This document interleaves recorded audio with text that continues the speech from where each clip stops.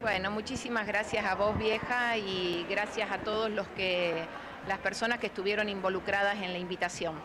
Vamos a hacer un recondo así como muy resumido de lo que fue para vos esto y cómo llegaste a eh, llevar tu experiencia a plasmarla en un libro, poder contarlo desde ese lugar. Mira, yo creo que la vida se va construyendo paso a paso, instante tras instante. Así lo fui viviendo y así lo fui escribiendo también. En un momento esta escritura se frena a lo largo de mi proceso y ahora hace muy poquitito siento la necesidad de, continuar con esa escritura y darle cierre a este libro, que no es nada más ni nada menos que, que mi historia de vida o parte de mi historia de vida, centrado sí en esta etapa importante que he tenido de enfermedad.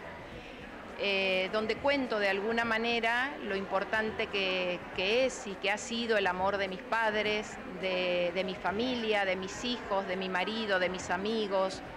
Han sido un motor fundamental para, este camino, ¿no? que yo llamo camino de evolución, donde fue muy importante el conocimiento personal para, para autotransformarme.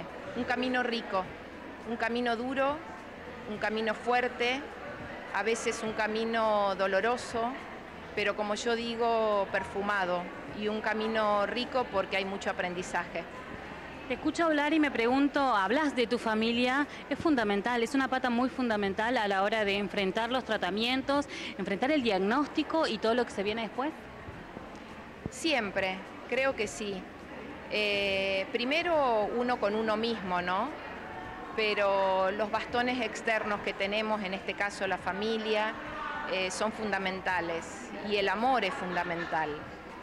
Eh, yo primero digo uno mismo porque mm, poder sentir que Dios nos habita, poder sentirnos en esa presencia ¿no? y ahí íntegros, yo creo que ese es el primer paso para encarar cualquier situación de adversidad. Según tu experiencia, María Alejandra, contanos qué tan importantes son este tipo de encuentros, donde se habla, donde se usan las palabras que se tienen que utilizar, porque a veces decir la palabra cáncer es todo un choque. Pero estos eh, lugares, ¿cuánto aportan a la comunidad, a las mujeres, a los hombres que padecen la enfermedad? Mira, yo creo que esto es muy, es muy personal.